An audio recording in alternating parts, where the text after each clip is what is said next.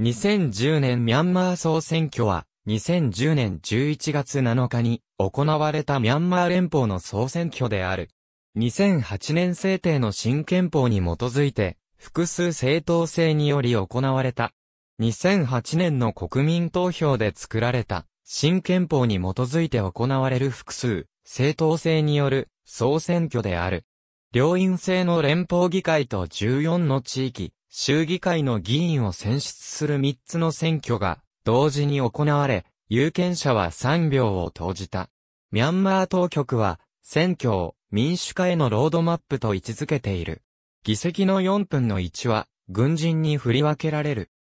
長年国家元首として君臨していた、丹主へ国家平和発展評議会議長は、総選挙後に引退するとされるが、丹主へは、かつて独立のために、政治家が、軍の指揮官となった。我々は、必要があれば、いつでも国政に参加し奉仕すると述べており、新政府発足後も、政治に対する軍部の影響力は引き続き維持するものと見られている。ミャンマー民主化指導者であるアウンサンスーチーの党である国民民主連盟は選挙をボイコットすることを決定し、2010年5月に回答した。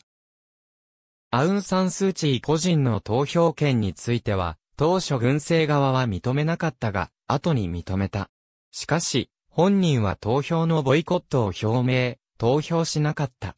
出展、駆動年博、2010年のミャンマー表に、2010年と1990年の総選挙の概要、アジア同行年報、2011年、399ページ。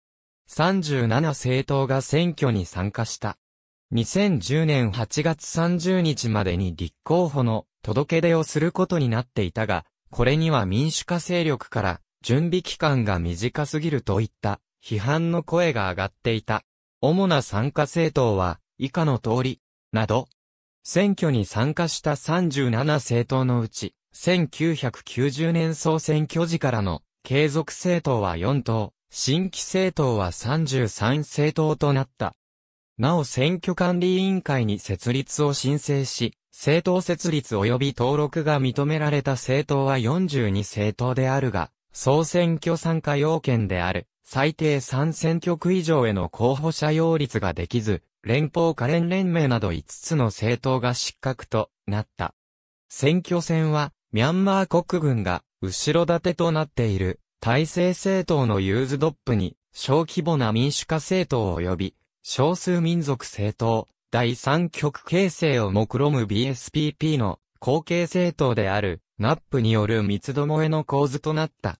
軍事政権が組織した連邦団結発展党は選挙管理委員会から選挙結果が発表されていない11月9日の段階で独自集計の結果として議席の8割を獲得したと勝利宣言した。国民民主勢力など民主化勢力の獲得議席は少数にとどまり、選挙は不正であると訴えていく姿勢を示した。その一方で、シャン民族民主党やラカイン民族発展党などは、ユーズドップによる不正を認めつつも、時間とお金を無駄にしないため不服申し立てはしないと表明した。最終的な各党当選者数は以下の表の通りである。軍政与党であるユーズドップは、連邦議会と地域、州議会のいずれでも8割近い議席を獲得して圧勝した。NLD から離脱した人々によって結成された NDF は敗北、旧政権政党 BSPP の後継政党である NAP も大敗を喫した。